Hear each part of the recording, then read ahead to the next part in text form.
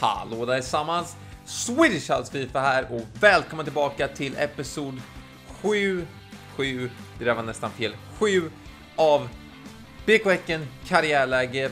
Vi är tillbaka med tre riktigt roliga matcher i Allsvenskan. Ni vet ju det som sagt, vi är i Allsvenskan. Det är bara att pressa på, det är bara att köra på. Ni såg där Neil som var min ungdomsspelare eh, som jag hade i truppen. Han har blivit promotad till A-laget för han hade insane, alltså helt galen potential. Det var helt sjukt. Han, eh, jag tror han har typ 83 till 94 potential, så jag vill spela med honom. Kanske kommer låna ut honom i eh, sommarfönstret. Vi får se. Men den första matchen, kolla här. Vad är det där? Lane sätter dit den redan så himla himla snyggt. Tre minuter in i den här matchen. BK Häcken mot Mjällby. Jag bytte lite spelare som ni såg innan. Jag bytte in Abrahamsson, jag tog in Neil, jag tog in några nya spelare helt enkelt. För jag kände att Mjällby, inte det bästa laget i hela världen. De är helt okej, okay. de hade El Kabir för några år sedan. Men de är inte så jättebra längre. De är typ alltså mitten av tabellen. Så jag tänkte spela några nya spelare helt enkelt. Men kolla här, Jeremejeff till Lane, vänder om, skjuter. Vilken räddning av deras målvakt. Hans målvakt, alltså målvakterna är sjuka på Fifa 21, jag vet inte varför. Det känns som de tar hur många som helst. Och här kommer Leo Bengtsson, kolla på den pacen, ska han göra mål? Leo Bengtsson, 2-0 i 15 minuten och jag ska säga det att jag krossade Mjällby i den här matchen. Det var helt sinnessjukt. De hade ingen chans. Vi kommer här igen, vi pressar på. 18 minuter in. Leo Bengtsson, kolla vilken snygg passning och...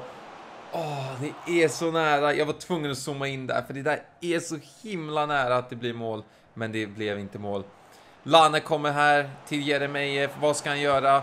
Kommer det bli mål? Nej, det är precis... Jag visar en repris här.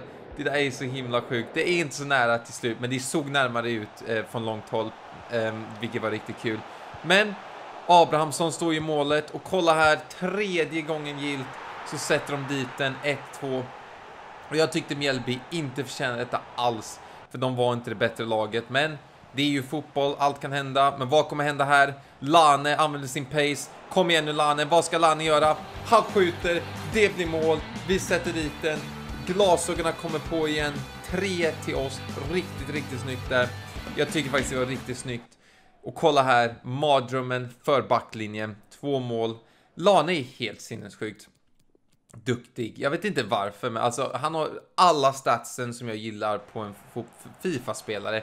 Eh, I verkligheten vet jag inte så mycket om honom om jag ska vara helt ärlig. Jag tror han är, ehm, han är säkert jättebra. Han är ju en ung spelare, ungdomsspelare. Och han är ju helt okej okay, helt enkelt. Men 70 minuten, de sätter dit 2-3 och jag kände att jag hade kontroll på den här matchen, men jag blev ändå lite, lite nervös. För man vet ju aldrig. Det är ju ändå Fifa vi pratar om. Men Heinz, ska han sätta dit den? Vi zoomar in igen. Kolla på det där målet, så himla snyggt. Och det är Lane. Han kan göra vad som helst. Han kan brösta in bollen, han kan nicka in bollen. Han kan sätta dit bollen hur han vill. Så länge den går i mål så bryr vi oss inte och det blev mål där. Men ska det bli 3-4, ska det bli hela 7 Sju mål! Det är ändå den sjunde episoden. Um, det blev det inte tyvärr. Och jag gjorde åtta där, det är sju såklart. Um, lite kul, men det blev faktiskt sju mål. Um, jag vet inte varför jag sa att det inte blev det. Så matchen slutar 4-3. Vi vinner matchen.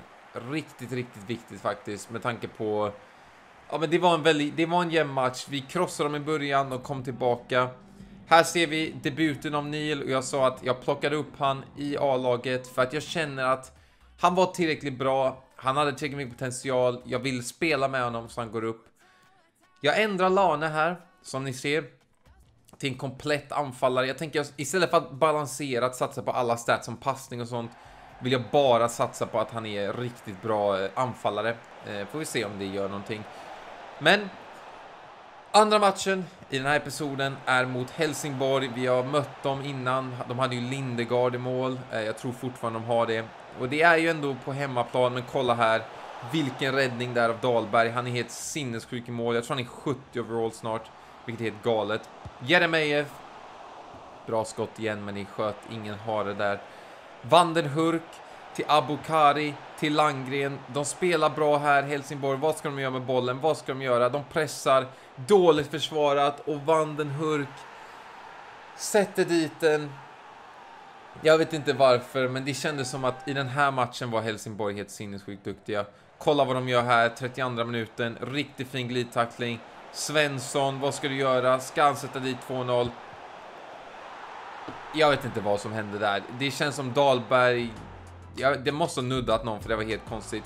Jag tar in Neil igen för att jag kände att Irandus var inte så bra. Han är ju permanent in i truppen nu. Eh, Friberg är inte med längre.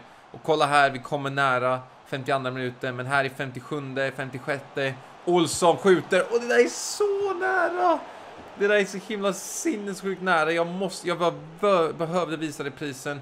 Den går precis utanför. Vilket är så otur, det kunde ha blivit 1-2.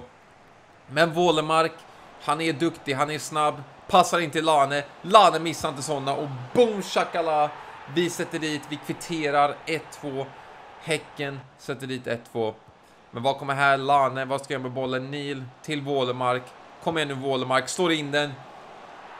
Och jag sätter äntligen, jag bara skojar inte, alltså jag var så himla glad för jag kunde äntligen nicka in en boll. Jag har varit så dålig på sådana här precisionsskott och äntligen kunde jag få till den. Men tyvärr, det kommer inte bli tre poäng utan vi tappar två tunga poäng på hemmaplan mot Helsingborg, vilket inte var det bästa. Det här är ju den åttonde omgången. Nästa omgång som kommer nu är den nionde. Men här ser vi något kul. Jag har eh, Pont Patrik säger jag. Jag tänkte säga Pontus, men Patrik Wålemark. Han eh, har blivit en höger mittfältare nu, för jag har, jag har använt honom som det. Eh, och i mitt... Eh, hur ska man kalla det liksom? I min, eh, mina planer hade jag inte tänkt använda som högerytt. Så det är lika bra. Byt honom till höger mittfältare och det har hänt nu.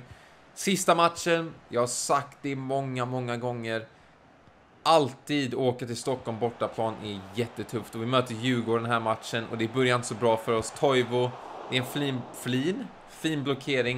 Eh, det är när man finlirar med en blockering blir det flin. Och sen Dahlberg, vad ska hända? Jag har inte, jag har inte gjort någonting med gameplay för vi kontrar riktigt snyggt här. Jeremejeff vänder om, kolla han ställer av Unne Larsson som det är ingenting. Ska det bli mål? Men det är en fin räddning och på returen så händer ingenting där. Men på hörnan precis efter, vad ska Jeremejeff göra? Den går i ribban och så räddningen och deras målvakt. Sinnessjuka minuter där. Några minuter senare, 5-6 minuter senare, kommer Eriksson. Jag tycker inte de förtjänar att eh, få så här många chanser, men det gör de. Och Chilufa, eller Chiljufa, jag vet inte. Jag, jag, är väldigt dålig på namn, eh, vilket ni vet efter alla år. Wålemark, ska det bli 1-1? Nej, det blev inte 1-1. Men kolla där, han boxar ut bollen, vilket inte var det bästa.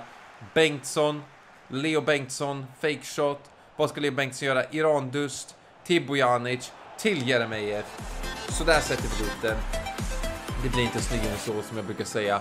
Riktigt, riktigt snyggt av Jeremejeff det, här, det, det, ser bra ut för oss. Vi är ju allsvenskan, vi pressar på. Det kommer, de flesta episoderna kommer se ganska lika ut med tre matcher och sånt. Så jag vill gärna att ni ska skriva i kommentarerna om ni har kommit så här hela vägen hit. Vill ni se mer än tre, eh, tre matcher per episod? Vill ni att jag ska göra fem? Eller vill ni att jag ska göra mindre highlights? För just nu kör jag så att det blir tre matcher Eh, och alla är typ, det blir typ 10 minuters långa videos. Vilket jag tycker är ett helt okej format, eller format som man säger på svenska. Eh, men det kanske blir lite tråkigt. Men här ser vi Lane, sätter dit den, 2-2. Det är så lätt, det är så fint. Det är, han, alltså, världsklass. Jag vet inte, jag, jag, jag kommer säga det varenda gång. Och det är, ja, det är för att han är så duktig. Men, här kommer de helt fri. Eriksson, eh, jag vet inte vad Toivo är, hel ur position. Radeniak, vad ska han göra med bollen? Slår in den snyggt. Eriksson och den där nicken är helt sinnessjuk. Eh, han Eriksson måste ha något så här, eh, alltså att han är bra på att nicka, typ att han får mer kraft för att han var så himla, himla bra eh, på att nicka bollen helt enkelt. Det var jättesjukt. Så han sätter dit den. Men vi gör ett byte. Heinz O'Neill, Irandus Wålemark, det är standardbyte, men jag kände att vi måste göra någonting för att kunna få 3-3 och få i alla fall ett poäng eh, i Stockholm. Men det kommer Bärkroth istället och kolla här.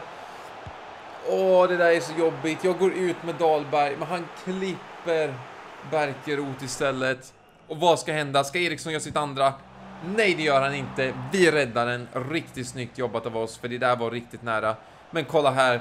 jag började bli irriterad. Vi, jag känner det att det börjar bli tufft. Ehm, vi ligger under med 1-0 och han fick ett gult kort på Janic där. Men Lane, 89 minuten, ska vi kvittera, slår in den, men inlägget är inte tillräckligt bra. Och här ser vi att matchen kommer sluta 3-2 och vi förlorar vår andra match i Allsvenskan. Verkligen inte det bästa. Vi ser här på Djurgården-fansen. Men det var ändå en bra episod. Vi, vi vann en, vi spelade oavgjort på en tror jag och vi förlorade en. Så en helt jämn episod. Inte det bästa, inte det sämsta. Vi ligger fyra i ligan nu. Vi måste fortsätta. Elfsborg och Norrköping är sinnessjukt duktiga. Men jag hoppas verkligen ni tyckte om den här episoden. Nästa episod kommer om några dagar och då syns vi då. Hej då!